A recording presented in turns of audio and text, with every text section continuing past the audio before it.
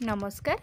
କୋରାପୁଟ ସରକାରୀ ମହାବିଦ୍ୟାଳୟର ଇତିହାସ ବିଭାଗୀୟ ମୁଖ୍ୟ ପ୍ରଫେସର କାମାକ୍ଷୀ ପ୍ରସାଦ ଦାସ ସାରଙ୍କର ଲେଟ୍ସ ନୋ ହିଷ୍ଟ୍ରି ମାଧ୍ୟମରେ ଛାତ୍ରଛାତ୍ରୀମାନଙ୍କ ପାଇଁ ଝରି ଆସିଥିବା ସି ବି ସି ଏସ୍ ପାଠ୍ୟକୋଶଳା ସମ୍ବଳିତ ସଂକ୍ଷିପ୍ତ ପ୍ରଶ୍ନୋତ୍ତର କାର୍ଯ୍ୟକ୍ରମ ଉପସ୍ଥାପନରେ ମୁଁ ମିସ୍ ରୂପା।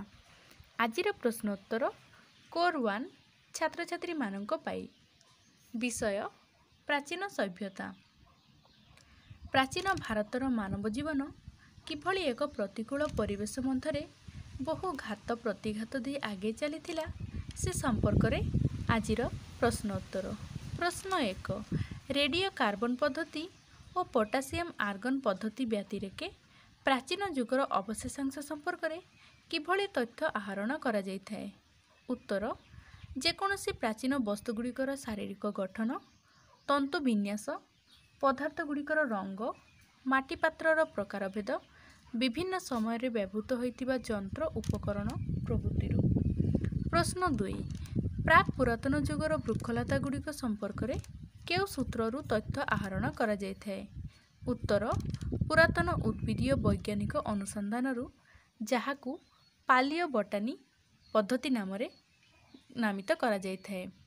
ପ୍ରଶ୍ନ ତିନି ପ୍ରାକ୍ ଐତିହାସିକ ଯୁଗର ଜୀବଜନ୍ତୁ ସମ୍ପର୍କରେ କେଉଁ ସୂତ୍ରରୁ ତଥ୍ୟ ଆହରଣ କରାଯାଇଥାଏ। ଉତ୍ତର ପୁରାତନ ପ୍ରାଣୀତଥ୍ୟ ପଦ୍ଧତିରୁ। ପ୍ରଶ୍ନ ଚାରି ପ୍ରାକ୍ ଐତିହାସିକ ଯୁଗର ପୁରାତନତାକୁ ପରୀକ୍ଷା କରିବା ପାଇଁ କେଉଁ ପଦ୍ଧତିର ସାହାଯ୍ୟ ନିଆଯାଇଥାଏ? ଉତ୍ତର ବିଭିନ୍ନ ପୁରାତନ ବସ୍ତୁର ରାସାୟନିକ ବିଶ୍ଳେଷଣ ପ୍ରକ୍ରିୟାର। ପ୍ରଶ୍ନ ପାଞ୍ଚ ନୃତତ୍ତ୍ୱ ଶାସ୍ତ୍ର କାହିଁକି ପ୍ରାକ୍ ଐତିହାସିକ ଯୁଗର ବସ୍ତୁ ସମ୍ପର୍କରେ ତଥ୍ୟ ଆହରଣ କରିବା ବେଳେ ଗୁରୁତ୍ୱ ବହନ କରିଥାଏ। ଉତ୍ତର ଏହି ଶାସ୍ତ୍ରରୁ ପ୍ରାଣୀ ଜଗତର ଜୈବିକ ବିବର୍ତ୍ତନ ତଥା ସେମାନଙ୍କର ସାଂସ୍କୃତିକ ବିନ୍ୟାସ ସମ୍ପର୍କରେ ସ୍ପଷ୍ଟ ସୂଚନା ମିଳିଥାଏ। ପ୍ରଶ୍ନ ଛଅ ପ୍ରାକ୍ ଐତିହାସିକ ଯୁଗର ଜୈବିକ ବିବର୍ତ୍ତନ ପ୍ରକ୍ରିୟା ଐତିହାସିକମାନଙ୍କୁ କିଭଳି ସାହାଯ୍ୟ କରିଥାଏ? ଉତ୍ତର ଲକ୍ଷ ଲକ୍ଷ ବର୍ଷ ତଳର ମଣିଷ ଓ ତାର ପ୍ରସ୍ତରୀଭୂତ ପୂର୍ବଜମାନଙ୍କୁ ସମାହିତ କରୁଥିବା ପଶୁ ଓ ପରିବାରମାନଙ୍କ ସମ୍ପର୍କରେ ତଥ୍ୟ ପ୍ରଦାନ କରିଥାଏ।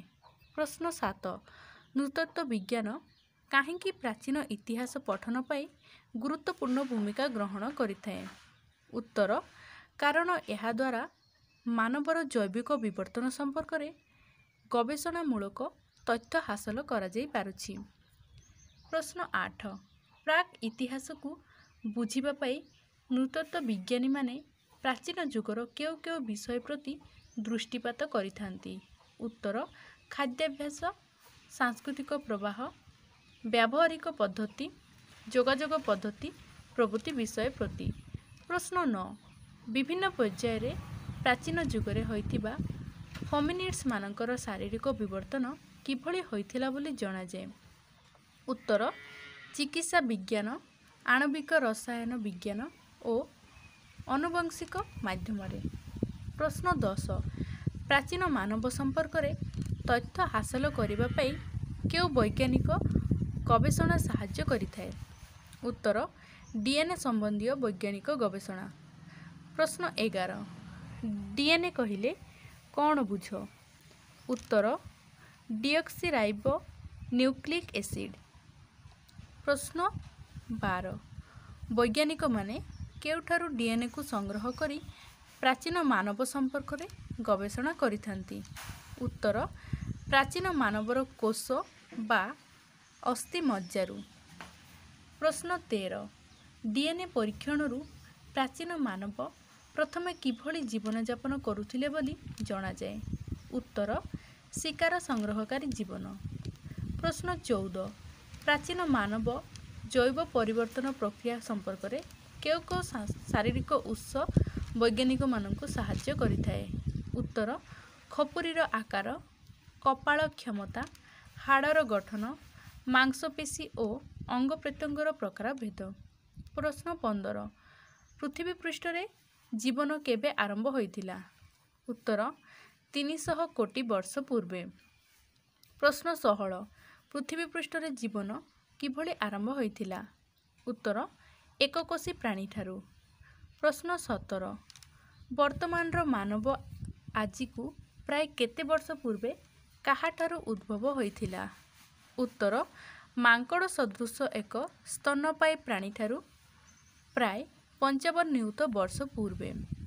ପ୍ରଶ୍ନ ଅଠର କେଉଁ ଶତାବ୍ଦୀ ପର୍ଯ୍ୟନ୍ତ ମନୁଷ୍ୟର ବିବର୍ତ୍ତନବାଦ ସମ୍ପର୍କରେ ସଠିକ୍ ତଥ୍ୟ ଆବିଷ୍କୃତ ହୋଇନଥିଲା ଉତ୍ତର ଅଷ୍ଟାଦଶ ଶତାବ୍ଦୀ ପର୍ଯ୍ୟନ୍ତ ପ୍ରଶ୍ନ ଉଣେଇଶ କେଉଁ ସମୟ ପର୍ଯ୍ୟନ୍ତ ଆଜିର ମଣିଷ ପ୍ରକୃତି ଓ ବୃକ୍ଷଲତା ଈଶ୍ୱରଙ୍କର ସୃଷ୍ଟି ବୋଲି ବିଶ୍ୱାସ କରୁଥିଲେ ଉତ୍ତର ଅଷ୍ଟାଦଶ ଶତାବ୍ଦୀର ଶେଷ ପର୍ଯ୍ୟାୟ ପର୍ଯ୍ୟନ୍ତ ପ୍ରଶ୍ନ କୋଡ଼ିଏ କେଉଁ ସମୟ ବେଳକୁ ପ୍ରକୃତି ଓ ଜୀବନ ବିବର୍ତ୍ତନବାଦ ପ୍ରକ୍ରିୟାରେ ଧୀରେ ଧୀରେ ଉନ୍ନତି ହୋଇଥିଲା ବୋଲି ଜାଣିପାରିଥିଲା।